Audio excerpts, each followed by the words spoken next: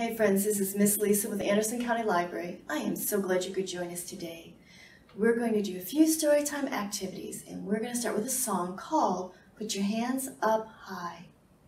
Put your hands up high, put your hands down low. Put your hands in the middle and wiggle just so. Put your elbows in the front, put your elbows in the back. Put your elbows on the side and quack, quack, quack. Put your hands up high, put your hands down low. Put your hands in the middle and wiggle just so. Put your elbows in the front, put your elbows in the back. Put your elbows on the side and quack, quack, quack. Very good, my friends.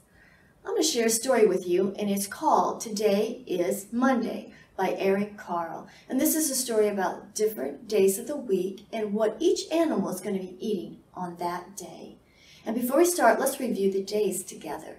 You can help me. We're going to start with Monday. Monday, Tuesday, Wednesday, Thursday, Friday, Saturday, Sunday. Very good. It's called Today is Monday. Today is Monday. Monday is string beans. Today is Tuesday. Tuesday is spaghetti. Monday, green beans.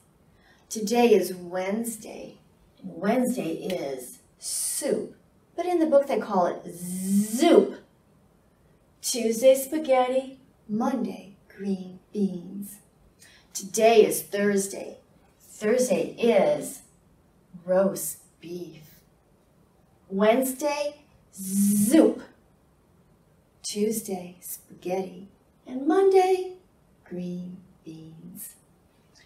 Today is Friday. Friday is fresh fish. Thursday, roast beef. Wednesday, zoop. Tuesday, spaghetti. And Monday, green beans. Today is Saturday, and Saturday is chicken. Friday, fresh fish. Thursday, roast beef. Wednesday, zoop. Tuesday, spaghetti. And Monday, green beans. Today is Sunday, and Sunday is ice cream. Saturday, chicken. Friday, fresh fish. Thursday, roast beef.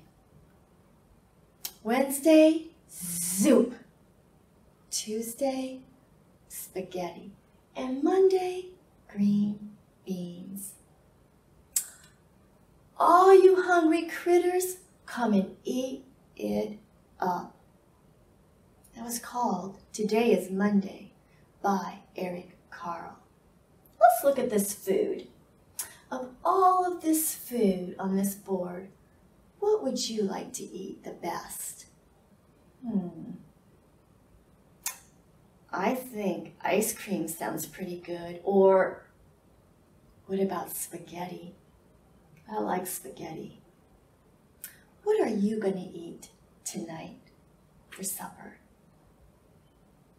And that concludes our story time. I am so glad you could join us. Until next time, bye-bye.